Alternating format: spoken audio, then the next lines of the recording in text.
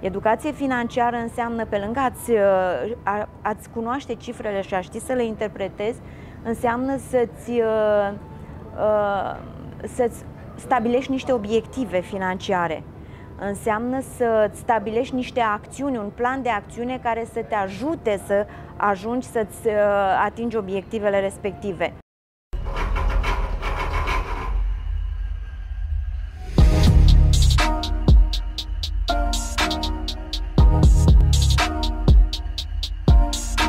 Găsit tuturor! Ne aflăm la o ediție cu totul și cu totul specială la Secretul Succesului, pentru că suntem pe MSC Seaview, pe un vas de croazieră, un eveniment organizat de Business Support. Am poposit și am vizitat deja câteva porturi din Europa, iar acum suntem în Italia, în Genova. Alături de mine astăzi o am pe Gianina Lazanu, care o să ne vorbească despre cât de importantă este educația financiară. Gianina, îți mulțumesc în primul rând pentru că ai acceptat invitația noastră noastră în acest podcast. Și eu mulțumesc pentru invitație și mă bucur că ne-am cunoscut, ne bucur că, mă bucur că împărtășim această experiență absolut inedită, uh, această croazieră de business împreună, uh, cu invitați foarte speciali, cu uh, participanți foarte speciali și cred că această experiență ne va face prieteni multă vreme de acum încolo. Poate că și pe viață, nu-i așa? Poate de și că nu? pe viață și pe business și în toate, din toate punctele de vedere.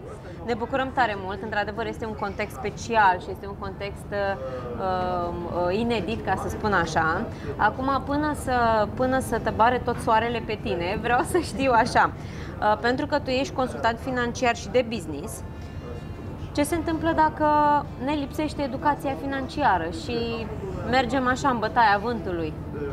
Dacă ne lipsește educația financiară, o să mergem fix în bătaia vântului, așa cum ai spus. E ca o navă. Businessul este o navă. Dacă toți suntem pe o navă, haideți să asociem businessul cu o navă.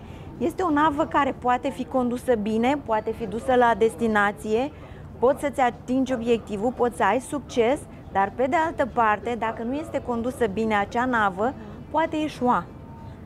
Uh, și ce pot eu să-ți spun acum, pentru că tot am discutat înainte de acest uh, interviu, am discutat despre uh, ce se întâmplă dacă nu există educația financiară.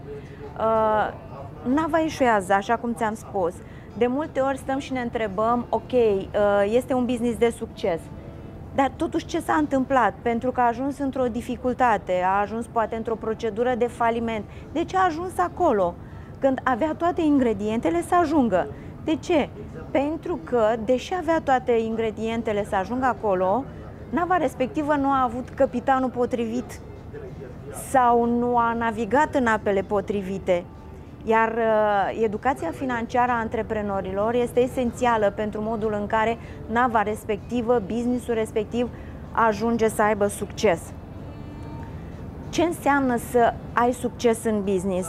Uh, unele companii consideră că a avea succes înseamnă profit, altele consideră că a face a aduce bine societății, altele consideră că a avea un număr de angajați suficient de mare astfel încât să aibă bucuria că uh, poate sute mii de oameni uh, depind de, de businessul respectiv și ei au făcut tot ce le-a stat în putință să facă acel business să funcționeze.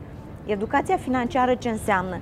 Înseamnă să știi să-ți interpretezi rezultatele financiare pe care le ai uh, la modul sceptic, nu la modul optimist. Că așa orice rezultat optimist îl poate oricine interpreta. Ei, în spatele acelor cifre trebuie să găsești uh, motivele care, pentru care se întâmplă lucrurile, fie în sens pozitiv, fie în sens negativ. Dacă sunt în sens pozitiv, ok, ce fac, fac eu bine astfel încât să fie și mai bine, dacă sunt în sens negativ, ce fac eu prost sau ce aș putea face mai bine astfel încât să ajung acolo unde îmi doresc. Educație financiară înseamnă, pe lângă ați, uh, ați cunoaște cifrele și a ști să le interpretezi, înseamnă să-ți, uh, uh, să-ți stabilești niște obiective financiare. Înseamnă să stabilești niște acțiuni, un plan de acțiune care să te ajute să ajungi să-ți atingi obiectivele respective.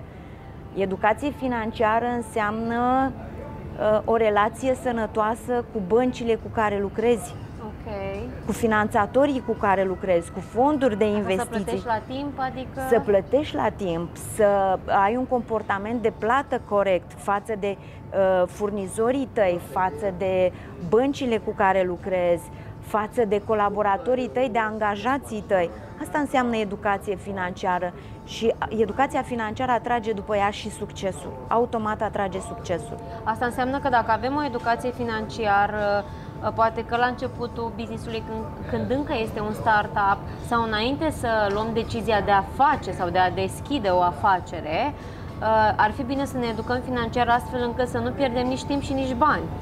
Uh, E drept, e drept. Eu sunt adepta uh, învățării continue. Înveți într-un fel în stadiul de startup sau înainte de a începe să faci un business, dar trebuie de fiecare dată, în fiecare etapă a vieții tale, ca și antreprenor, a vieții tale, ca și business, de fiecare dată trebuie să te educi. De fiecare dată, în fiecare etapă, trebuie să fii la zi cu uh, informațiile financiare pe care trebuie să le pe care trebuie să le procesezi astfel încât să poți merge mai departe în businessul tău. Fie să-l crești, fie să rămână în același stadiu și doar să-i crești profitabilitatea, dar în fiecare etapă trebuie să înveți. Să înveți inclusiv din punct de vedere managerial și să înveți mai ales că nu le știi pe toate. Și să apelezi Asta cred că este cel mai greu de da, învățat. Da, da. Uh, Asta înseamnă că uh, dacă trebuie să, ed- automat, educația, educația trebuie să fie continuă, așa cum ai spus tu, dar asta înseamnă, cred că și analiza da, pe care o facem, financiară, pe care o facem companiei, este diferită în funcție de uh, creșterea sau stadiul în care se află uh, compania. Evident, evident, în fiecare stadiu al vieții companiei tale, uh, cu cât crești, cu atât complexitatea e mai mare.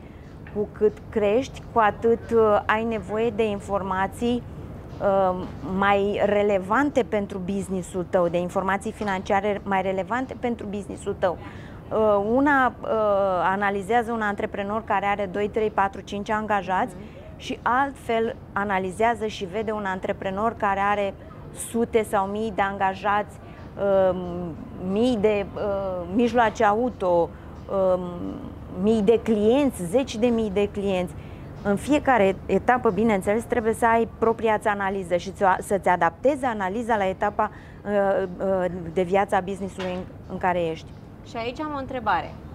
La ce se uită prima dată uh, un consultant financiar?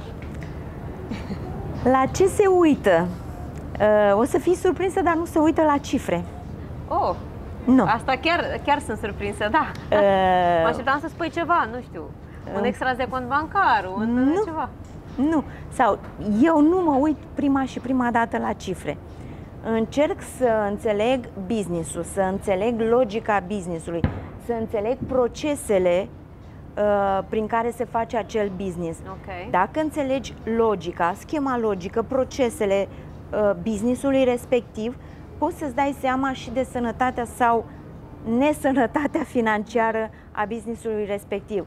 Poți să-ți dai seama dacă, spre exemplu, uh, plătește furnizorii cu întârziere, dar de încasat în- încasează mai devreme de la clienți. Îți dai seama că acel client are o problemă de cash flow Mhm. îți dai seama că poate nu este finanțat corect. Că e și acest, uh, și acest aspect trebuie luat uh, în evidență, uh, evidențiat considerare. foarte bine. Uh, Trebuie să inclusiv finanțele trebuie să ți le faci la nivelul și pe mod, modelul tău de business. Uh, Ăsta este, asta este, uh, lu- ăsta este lucrul la care eu mă uit prima dată când intru într-un business. Să înțeleg logica, după care mă uit pe cifre și îmi dau seama uh, ce se întâmplă din punct de vedere financiar. Ulterior discut cu cei care contează în businessul respectiv, acționarii, cu managementul, să înțeleg care sunt problemele lor. Uh, unde văd ei că ar trebui să acționez eu ca și consultant, după care abia îmi trag concluziile. Și de foarte multe ori, că tot discutam aici de uh, autocunoaștere, de brainstorming, uh, de uh, autoevaluare sau de autosabotare, exact același lucru îl constatăm și um, un analist financiar și un consultant financiar. Exact același lucru îl constați, că de multe ori uh, companiile se autosabotează. Dar cât de, la ce interval, scuze-mă că te întrerup, la ce interval ar trebui, uh, Gianina, să facă o companie uh, o analiză financiară? În mod normal ar trebui lunar să-și o facă, dar uh, dacă nu există varianta de a se face lunar această analiză, măcar trimestrial și funcție de rezultate trebuie făcut un plan de acțiune concret, cu termene foarte clare și responsabil pentru a remedia ceea ce n-a funcționat. Ok. Mulțumim foarte mult, Janina, pentru informații. Cred că o să fie o să fie foarte, foarte, foarte utile. O să mai revenim cu informații, o să punem și linkurile Gianine în caz că nu v-ați făcut vreo analiză financiară până acum. Cred că ar trebui să luați în considerare și poate să luați legătura cu Gianina și să vedeți cam ce implică asta și despre ce este vorba. Uh, noi vă mulțumim și dacă aveți întrebări pentru Gianina sau uh, dacă aveți nelămuriri, așteptăm întrebările voastre și poate la evenimentul următor ne reîntâlnim cu Gianina, care o să ne răspundă în continuare la întrebările pe care le puneți. Cu mare drag, Mulțumim cu mare din drag, suflet, mulțumesc Gianina. și eu. Informațiile tale ne-au fost foarte de ajutor și acum probabil o să mergem să ne bucurăm un pic de Genova. Cu drag. Mulțumim, la revedere!